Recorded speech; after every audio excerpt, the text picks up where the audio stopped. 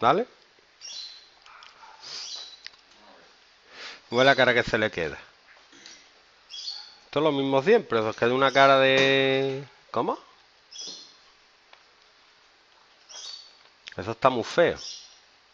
Esa cara de... ¿Cómo? Vamos a ver, calcula f compuesta con g. Compone dos funciones, mete una dentro de otra.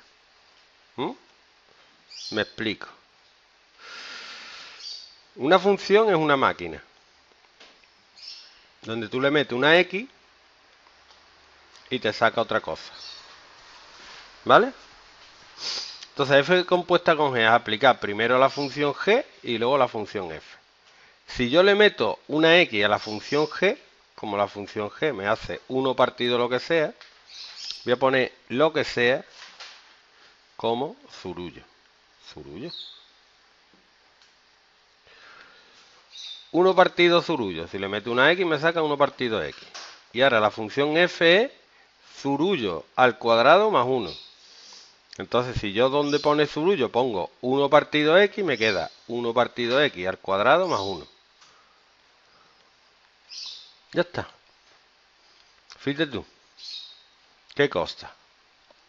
Más preciosa. ¿Cómo sería g compuesta con f? Pues aplicar primero la f y luego la g. ¿Y no es lo mismo? No es lo mismo. No es lo mismo. f es zurullo al cuadrado más 1. Entonces, si le meto una x, me sale aquí x cuadrado más 1. Y si le meto una g, que es 1 partido zurullo, me queda 1 partido lo que le he metido. Si le he metido x cuadrado más 1, pues aquí sale x cuadrado más 1. Que no es lo mismo que esto de aquí arriba. No es lo mismo. Entonces, f compuesta con g de x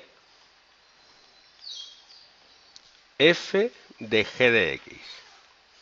Si g de x es 1 partido x, es f de 1 partido x. Y como f es x cuadrado más 1, esto sería sustituir x por 1 partido x. Y g compuesta con f